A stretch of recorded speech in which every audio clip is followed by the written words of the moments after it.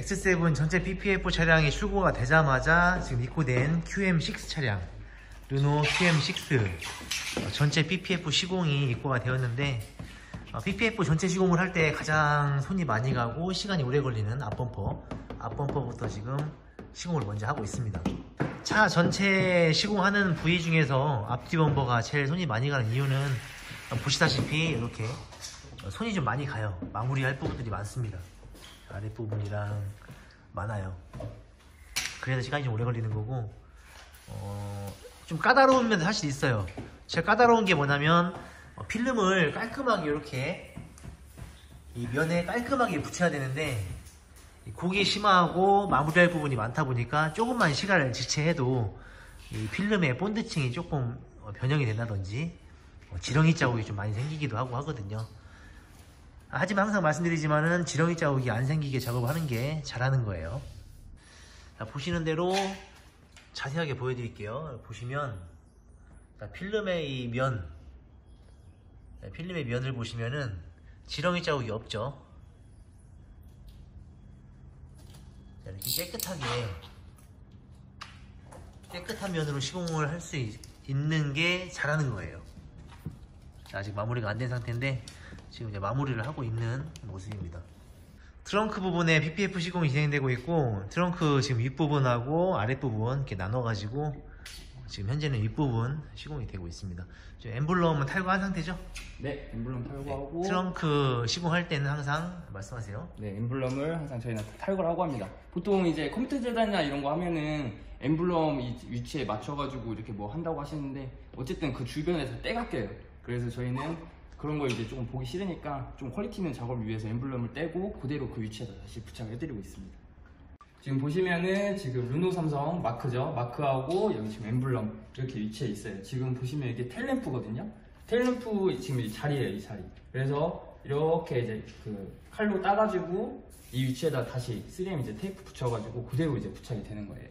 이게 그러니까 지금 어, 커- 이, 뭐, 이 뭐지 covering 테이프? 네. covering 테이프를 놓고 네. 이대로 모양대로 그림을 그린 다음에 네. 엠블럼이 있는 이 모양은 칼로 이 도려낸 다, 도려내는 거죠. 그쵸, 그쵸. 도려내고 그 위치에 그대로 거기에다 갖다 그대로 갖다 붙이는 거잖아요. 네. 여기 그러니까- 마찬가지로 네. 이렇게 자, 이 자리를 이제 칼로 이렇게 도려낸 다음에 이 모양을 맞춘 대로 그대로 차에다 올려놓고 엠블럼을 딱 놓는 거죠. 네네. 많이들 궁금해하실 거예요. 이걸 대체 어떻게 떼고 어떻게 그 위치에 과연 붙을까라고 생각을 많이 하실 텐데 거의 99% 맞잖아요. 네네. 이렇게 작업이 진행되고 있습니다. 네, 그렇게 하- 이렇게 해야만이 어, 깔끔한 시공이 되고 시공 후에 엠블럼 쪽도 깨끗하게 유지를 시킬 수가 있습니다.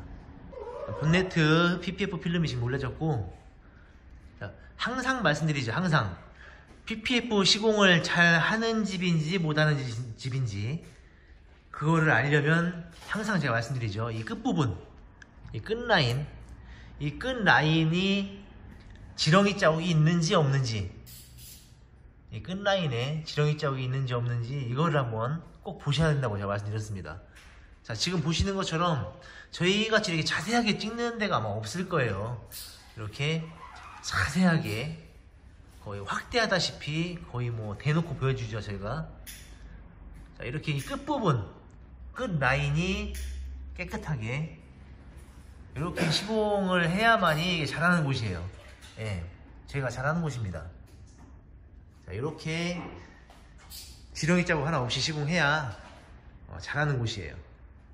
사실 PPF 시공 전체 시공하는 게 이게 적은 비용은 아니에요. 500만 원이 넘는 비용을 줘야 되는데 잘 모르고 그냥 아무데나 맡겼다가 작업이 잘 안 나오면 사실 저희한테 그 작업이 이렇게 나왔는데 이게 잘 된 거냐 이렇게 물어보시는 분들이 많아요. 사진 보내주면서.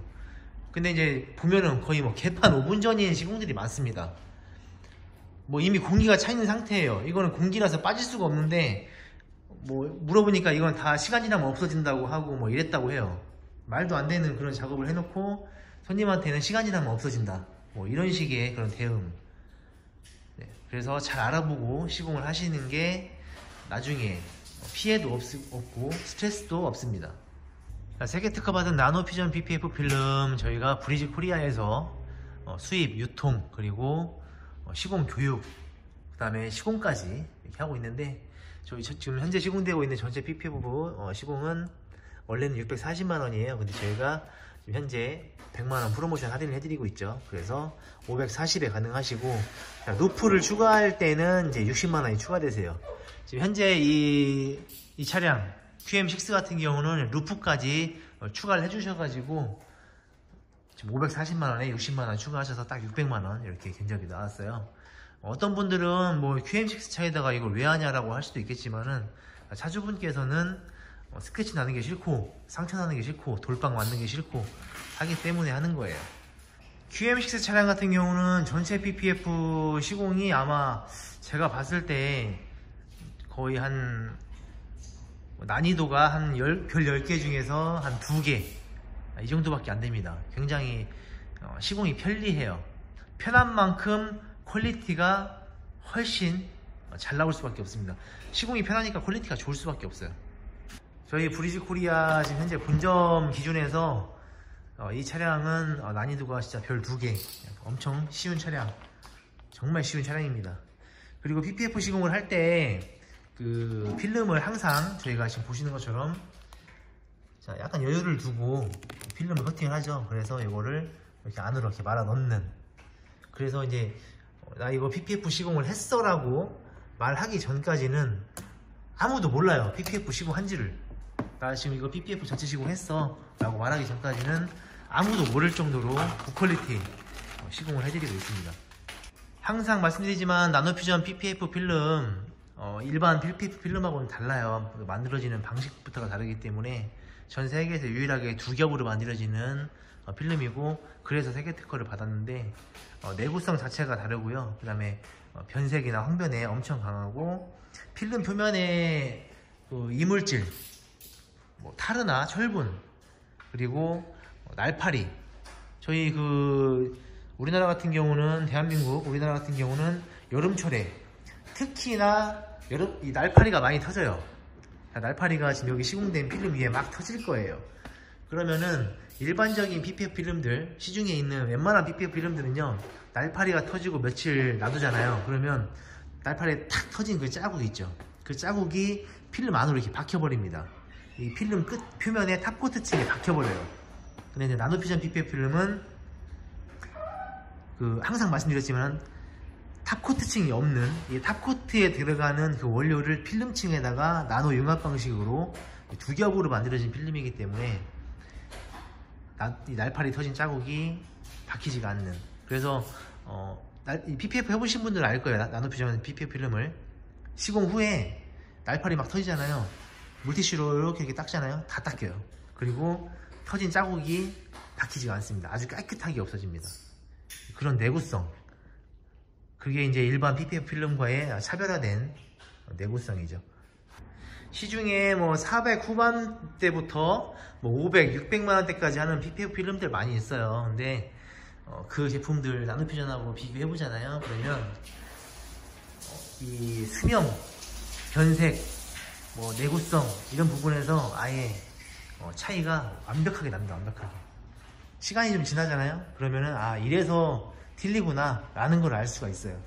저희 저 같은 경우는 저희 차에다가 어, 4년 5년 전에 시공했던 어, 그 라노피전 PPF 필름이 그대로 있는데 아직도 멀쩡하고요. 날파리 터진 자국 하나가 없어요. 그 정도의 내구성을 가지고 있는 필름입니다.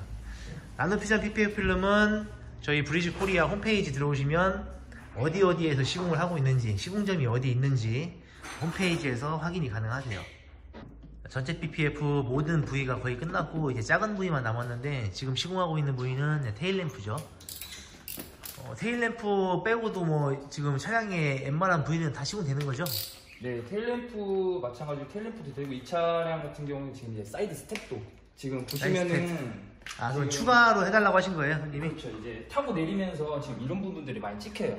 아, 특히나 이제 검정색도 그렇고 흰색도 그런데 흰색은 안 보인다고 생각하시는데 나중에 시간이 지나면 이제 때가 묻으면서 상당히 보기가 싫게 돼요.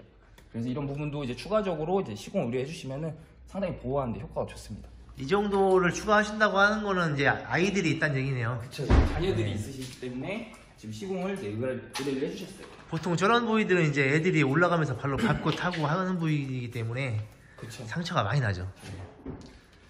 자, 그런 이제 작은 부위들, 그 다음에 여기 보시면은 이런 필러들 하이그로시.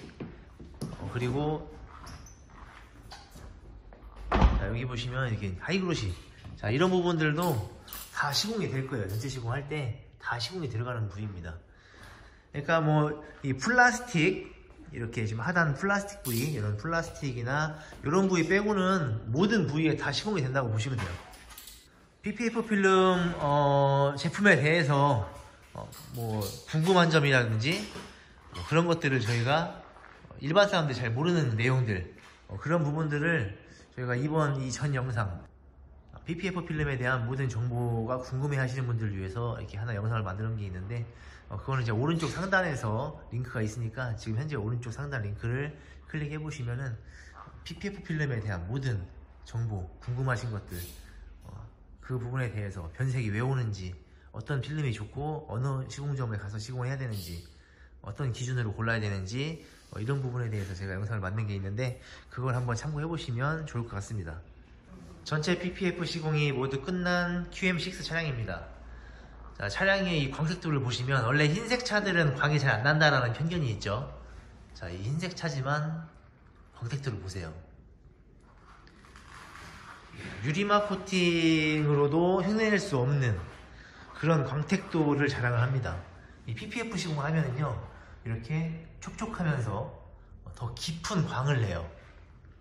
왜냐면 투명한 필름, 어, 예를 들어서 필름이 1cm다라고 하면은 뭐 1cm만큼의 투명한 층이 더 올라갔기 때문에 차량이 더 광이 날 수밖에 없어요. PPF의 또 장점이고 나노퓨전 PPF 필름의 장점이 시공성이 쉽다라는 이런 장점이 또 있죠. 장점이 또 있기 때문에 시공을 하고 났을 때이 필름의 끝부위 또는 이 마감 뭐 이런 것들이 자세히 보여드리면 어, 지렁이 자국 하나가 없습니다. 정말 깨끗하죠. 자, 본네트 헤드라이트 쪽. 지금 보시면 본네트가 굉장히 둥그렇잖아요. 밀려서 붙여야 되는데 자, 시공했을 때 이렇게 끝부위에 지렁이 자국이 하나 생기지 않는 어, 물- 물론 이제 시공을 할 때 실력이 좋기도 하지만 자, 필름의 시공성이 굉장히 편리하기 때문에 이렇게 깨끗한 깨끗한 시공이 나올 수밖에 없어요. 지나가는 사람 한 100명 붙잡고 이 차에 뭔 시공했는지 찾아보세요 했을 때 찾아보실 수 있는 분이 거의 없을 거예요. 뭐냐면 나 이 차에 PPF 시공했어 라고 말하기 전까지는 그 누구도 알 수 없습니다. 그 정도로 깨끗한 시공이 가능합니다.